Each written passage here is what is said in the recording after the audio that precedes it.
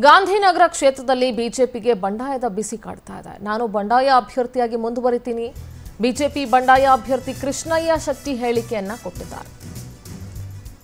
ಗಾಂಧಿನಗರ ಕ್ಷೇತ್ರದಲ್ಲಿ ಇನ್ನೂ ಕೂಡ ಬಿಜೆಪಿಗೆ ಬಂಡಾಯದ ಬಿಸಿ ತಟ್ತಾ ಇದೆ. ಬಿಎಸ್ವೈ ಜೋಶಿ ಕರೆದು ಮಾತನಾಡಿದ್ರು, ಜನ ನನ್ನ ಪರವಾಗಿ ನಿರ್ಣಯ ಮಾಡಿದ್ದಾರೆ. ನಾನು ನಾಮಪತ್ರವನ್ನ ವಾಪಸ್ ತಗೊಳ್ಳಲ್ಲ. ಯಾಕ್ರಿ ತಗೋಬೇಕು ನನ್ನ ನಾಮಪತ್ರನ ವಾಪಸ್ಸು? ಜನ ನನ್ನ ಪರವಾಗಿದ್ದಾರೆ. ಜನರಿಗೆ ನಾನೇ ನಿಂತ್ಕೊಳ್ಬೇಕು ಅಂತ ಇದೆ. ಸೊ ನಾನೇ ನಿಂತ್ಕೊಳ್ತೀನಿ. ಜನ ನನ್ನ ಪರವಾಗಿ ನಿರ್ಣಯ ತೆಗೆದುಕೊಂಡಿದ್ದಾರೆ. ನಾನು ಯಾಕೆ ಬಿಟ್ಕೊಡ್ಬೇಕು? ನನಗೆ ಸೀಟ್ ಕೊಡ್ತಾರೆ ಅಂತ ಅಂದ್ಕೊಂಡಿದ್ದೆ ಅದ್ರ ಕೊಡಲಿಲ್ಲ. ನಾನು ಬಿ ಜೆ ಪಿಲೇ ಮುಂದುವರಿತೀನಿ. ಬಿ ಜೆ ಪಿ ಬಂಡಾಯ ಅಭ್ಯರ್ಥಿಯಾಗಿ ಸ್ಪರ್ಧೆಗಿಳಿತೀನಿ ಅಂತ ಕೃಷ್ಣಯ್ಯ ಶೆಟ್ಟಿ ಹೇಳಿಕೆಯನ್ನು ಕೊಟ್ಟು ಈಗಾಗಲೇ ಬಿಜೆಪಿಯಿಂದ ಟಿಕೆಟ್ ವಂಚಿತರಾಗಿ ಬಂಡಾಯದ ಸ್ಪರ್ಧೆ ಮಾಡಿರುವಂತಹ ಕೃಷ್ಣಯ್ಯ ಶೆಟ್ಟಿ ನಮ್ಮ ಜೊತೆಗಿದ್ದಾರೆ ಸರ್. ನಮಸ್ಕಾರ. ಬಂಡಾಯ ಇರುವಂತ ವಿಚಾರ ಬಹಳಷ್ಟು ದಿನಗಳಿಂದಲೇ ಇತ್ತು.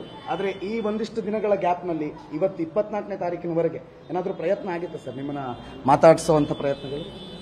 ಯಾರೂ ಪ್ರಯತ್ನ ಪಡಲಿಲ್ಲ. ಈ ಬಂಡಾಯ ಬಹಳ ದಿನಗಳಿಂದ ಇರಲಿಲ್ಲ. ಈಗ ಟಿಕೆಟ್ ಘೋಷಣೆ ಆದ್ಮೇಲೆ ಈ ಬಂಡಾಯ ಆಗಲಿಕ್ಕೆ ಇತ್ತು ಯಾರೂ ಪ್ರಯತ್ನ ಪಡಲಿಲ್ಲ. ನನ್ನ ನಾಯಕರಾದಂಥ ಯಡಿಯೂರಪ್ಪನವರು ಫೋನ್ ಮಾಡಿದ್ರು. ಯಾವುದೇ ರೀತಿ ದುಡುಕ್ಬೇಡ ಅಂತ ಹೇಳಿದ್ರು.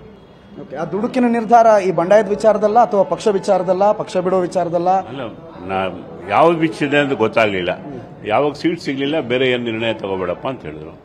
ಈ ಕಾಂಗ್ರೆಸ್ನವರು ಹೇಳ್ತಿದ್ದಾರೆ ನಿಮ್ಮ ಸ್ಪರ್ಧೆಯಿಂದ ಬಿಜೆಪಿ ಓಟ್ಗಳು ಡಿವೈಡ್ ಆಗುತ್ತೆ ಅದು ಅವರಿಗೆ ಪ್ಲಸ್ ಆಗುತ್ತೆ ಗೆಲ್ಲೋದಕ್ಕೆ ಸುಲಭ ಮಾಡಿ ಬಿಜೆಪಿ ಅವರೇ ಮಾಡ್ಕೊಡ್ತಿದ್ದಾರೆ ಅಂತ. ಅಂದ್ರೆ ಅವ್ರ ಅಭಿವೃದ್ಧಿ ಇಂಪಾರ್ಟೆಂಟ್ ಅಲ್ಲ ಅವ್ರಿಗೆ. ಈ ರೀತಿಯ ಪ್ರಯತ್ನಗಳು ಅವರಿಗೆ ಇಂಥ ಒಂದು ಸನ್ನಿವೇಶಗಳಲ್ಲಿ ಸನ್ನಿವೇಶ ಕ್ರಿಯೇಟ್ ಆಗಲಿ ಅಂತ ಆಸೆ ಪಡ್ತಿದ್ದಾರೆ ವಿನಃ ಅವ್ರ ಅಭಿವೃದ್ಧಿ ಮಾಡಿ ಜನಗಳ ಇಪ್ಪತ್ತೈದು ವರ್ಷ ಅವಕಾಶ ಕೊಟ್ಟರು ಜನ. ಇಪ್ಪತ್ತೈದು ವರ್ಷದಲ್ಲಿ ಮಾಡದಿರೋಂಥ ಅಭಿವೃದ್ಧಿಗಳನ್ನ ಈ ರೀತಿ, ಅಭಿವೃದ್ಧಿ ಒಳ್ಳೆ ರೀತಿಯಲ್ಲಿ ಮಾಡಿದ್ರೆ ಯಾಕೆ ಇನ್ನೊಬ್ಬರ ಬಗ್ಗೆ ಅಥವಾ ಇನ್ನೊಬ್ಬರ ಸ್ಪರ್ಧೆ ಬಗ್ಗೆ ಯೋಚನೆ ಮಾಡ್ತಿದ್ರು? ಅವರ ಅಭಿವೃದ್ಧಿ ಯಾವುದೂ ಮಾಡಲಿಲ್ಲ, ಒಳ್ಳೆ ರೀತಿ ಅಭಿವೃದ್ಧಿ ಅಂತ ಮಾಡಲೇ ಇಲ್ಲ. ಈಗ ಕರ್ನಾಟಕದಲ್ಲಿ ಈಶ್ವರಪ್ಪನವರ ಆದಿಯಾಗಿ, ಹಾಲಾಡಿ ಶ್ರೀನಿವಾಸ ಶೆಟ್ಟರು, ಲಾಲಾಜಿ ಮೆಂಡನ್ರು, ಬಹಳಷ್ಟು ಜನರು ಈಗ ಓಕೆ ಹೈಕಮಾಂಡ್ ನಿರ್ಧಾರ ತೆಗೆದುಕೊಂಡಿದೆ. ಪರವಾಗಿಲ್ಲ ಅವರೇನೋ ಒಂದು ಮೈಂಡ್ ಸೆಟ್ ಅಲ್ಲೇ ಆಟ ಆಡ್ತಿದ್ದಾರೆ. ಆ ಗೇಮ್ ಪ್ಲಾನ್ ವರ್ಕ್ ಆಗಲಿ ಅನ್ನೋ ನೆಲೆಯಲ್ಲಿ ನಾವು ಸುಮ್ಮನಿರ್ತೀವಿ ಬೆಂಬಲ ಮಾಡ್ತೀವಿ ಅಂತ ಹೇಳಿದ್ರು. ಆ ರೀತಿಯಲ್ಲಿ ನಿಮ್ಮ ನಿಮಗೇನಾದರೂ ಅನಿಸಿಲ್ವಾ? ಅಥವಾ ಪಕ್ಷದಿಂದ ಬಹಳಷ್ಟು ವರ್ಷದಿಂದ ಇದ್ದೀರಿ. ಸಂಘ ಸಿದ್ಧಾಂತ ಅನ್ನುವಂಥದ್ದನ್ನ ಮೈಗೂಡಿಸ್ಕೊಂಡು ಬಂದಿದ್ದೀರಿ. ನಿಮ್ಮ ಈ ನಿರ್ಧಾರಕ್ಕೆ ಸಂಘ ಸಿದ್ಧಾಂತಗಳು ಯಾವುದು ಅಡ್ಡ ಆಗ್ತಾ ಇಲ್ವಾ? ಈಗ ನನ್ನ ಜನ ಏನಿದ್ದಾರೆ ಗಾಂಧಿನಗರ ಕ್ಷೇತ್ರದ ಬಡ ಜನ ಅವರ ಒತ್ತಾಯನೇ ಈ ನಿರ್ಣಯಕ್ಕೆ ಕಾರಣ. ಬಂಡಾಯ ಸ್ಪರ್ಧೆ ನೀವು ವಾಪಸ್ ತೆಗಿಬೇಕು ಅಂತಂದ್ರೆ ಅವ್ರ ಒತ್ತಾಯ ಮಾತ್ರ? ಅವ್ರ ಒತ್ತಾಯ ಮಾಡಿದ್ರೆ ಮಾತ್ರ. ಜನ ಬರಲಿ. ಜನ ಒಂದು ಒತ್ತಾಯ ಮಾಡಲಿ ಅವಾಗ ಗೆಲುವಿನ ವಿಶ್ವಾಸ? ಖಂಡಿತ ಇದೆ. ಈಗ ಬಂಡಾಯ ಟಿಕೆಟ್ ಘೋಷಣೆ ಆಗಲಿಲ್ಲ ಅಂದ ತಕ್ಷಣ ಬೇರೆ ಪಕ್ಷಗಳ ಗಮನಕ್ಕೆ ಸಿಗ್ತೀವಿ. ಅಥವಾ ಕಾಂಗ್ರೆಸ್ ಜೆ ಈ ತರ ಸಾಕಷ್ಟು ಸಾಕಷ್ಟು ಬೇರೆ ಪಕ್ಷಗಳು ನನಗೆ ಚರ್ಚೆ ಮಾಡಿದ್ರು ಪ್ರಯತ್ನ ಪಟ್ಟರು ಆದರೆ ನಾನು ಇಂಡಿಪೆಂಡೆಂಟ್ ನಿಂತ್ಕೋಬೇಕು ಅಂತ ನಿರ್ಣಯ ಮಾಡಿದೆ.